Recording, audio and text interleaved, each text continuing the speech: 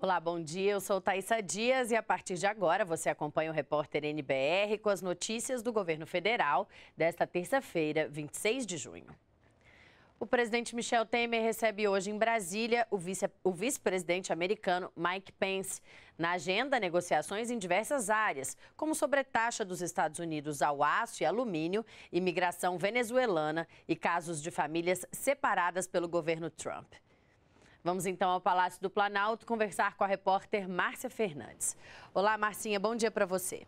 Bom dia, Thaisa. Bom dia a todos. O vice-presidente norte-americano Mike Pence, ele desembarcou em Brasília há pouco tempo, chegou na base aérea de Brasília e de lá ele seguiu para um hotel onde ele vai descansar. Mais tarde, por volta do meio-dia, ele segue aqui para o Palácio do Planalto, onde vai se reunir com o presidente Michel Temer. Como você havia comentado, é, Thaisa, são vários assuntos nessa agenda, eles devem falar sobre vários assuntos, entre eles o aluguel da base aérea de lançamento de foguetes na cidade de Alcântara, no Maranhão. Eles também devem comentar comentar sobre a questão do fluxo migratório, o aumento do fluxo migratório da vinda dos venezuelanos para o Brasil, que sai da Venezuela e seguem para o Brasil e também para outros países. Inclusive, o vice-presidente norte-americano amanhã deve seguir para Manaus para conhecer um dos abrigos que recebe esses venezuelanos. Um outro assunto que vai entrar na pauta é a questão das crianças que estão separadas dos pais nos Estados Unidos. São pais que entraram, tentaram entrar ilegalmente no país, foram presos, foram levados para as prisões, para as prisões federais e as crianças foram retiradas, afastadas desses pais e estão em abrigos por lá. O governo, os diplomatas brasileiros que ficam nos Estados Unidos têm se esforçado para tentar reaver, recuperar essas crianças. Inclusive, uma primeira já recebeu a autorização e vai se juntar à mãe. A nossa correspondente internacional, Paula Diorti, acompanhou isso. Vamos conferir.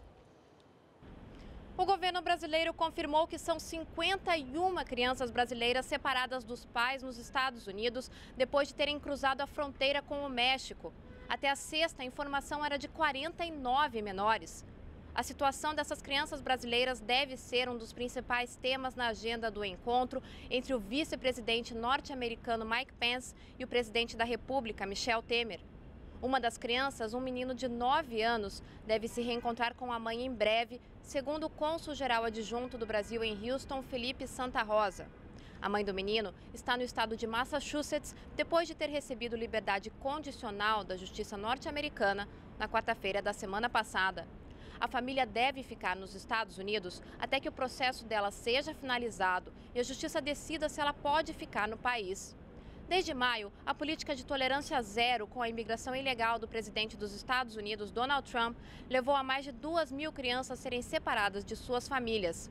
Na última quarta-feira, depois de pressão dentro do país e internacional, Trump assinou um decreto executivo para suspender a separação das famílias.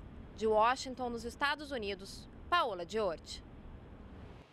Olha, e o Itamaraty confirmou que esse assunto deve se entrar numa conversa particular entre o presidente Michel Temer e o vice-presidente norte-americano. Vamos conferir. Naturalmente que nas áreas, é, nas áreas mais delicadas nós vamos tratar da questão é, migratória e das crianças brasileiras que estão retidas em alguns centros nos Estados Unidos. O tema tem uma grande visibilidade, uma enorme importância para a sociedade brasileira e para todos nós. O Ministério das Relações Exteriores divulgou é, a sua preocupação a respeito do tratamento do assunto. É, ele faz parte de um diálogo permanente com o governo dos Estados Unidos sobre questões consulares, mas é um tema que está na agenda e que será, tratado pelo presidente é, em, em particular.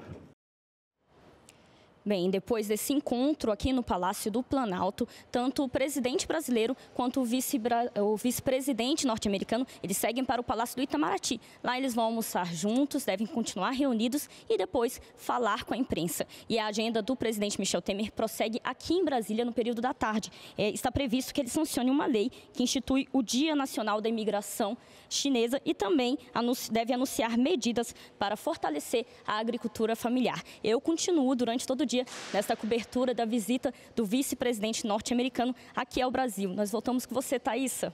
Obrigada, Marcinha, pelas suas informações. Bom trabalho e a gente volta a se falar ao longo do dia. Quem trabalhou entre 1971 e 1988 pode sacar os recursos do PIS/PASEP até a próxima sexta-feira, dia 29. Nessa fase, os pagamentos são feitos para quem tem entre 57 e 59 anos. De acordo com o calendário divulgado pela Caixa Econômica Federal e pelo Banco do Brasil, os pagamentos serão interrompidos em julho. Entre agosto e setembro, os pagamentos voltam a ser feitos, já com valores reajustados para todas as idades.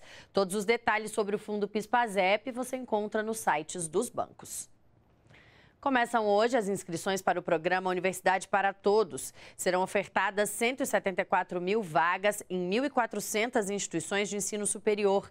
As inscrições devem ser feitas exclusivamente pela página do ProUni na internet até sexta-feira, 29 de junho.